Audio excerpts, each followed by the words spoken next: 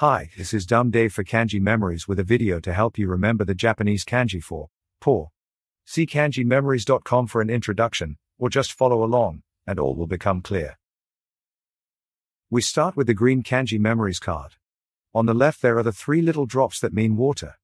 To the right is the kanji for lord, or master of the house as we call it. That was also originally a picture of a lamp with a flame, and it still looks a little like a candlestick and candle. We can use both of these ideas in our memory phrase. And now our kanji memories memory card, which shows the lord and master of the house about to perform his party trick. This involves pouring water, or more often wine, from a candlestick into a glass or goblet.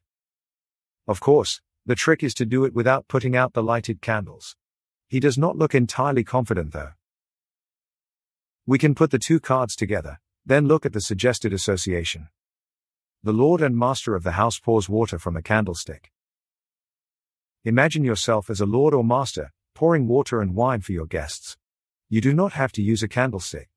Combining water and master is enough. The candlestick is an added extra for your memory. The lord and master of the house pours water from a candlestick.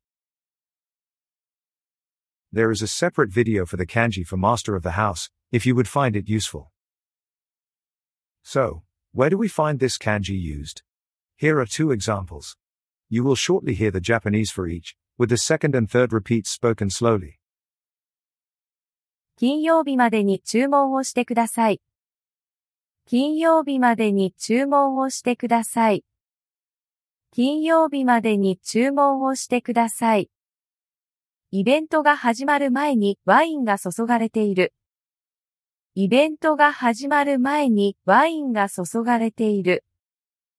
イベントが始まる前にワインが注がれている。And that completes this kanji memories video. We really hope that you found it useful, and that you will visit our main website, kanjimemories.com, for our latest resources.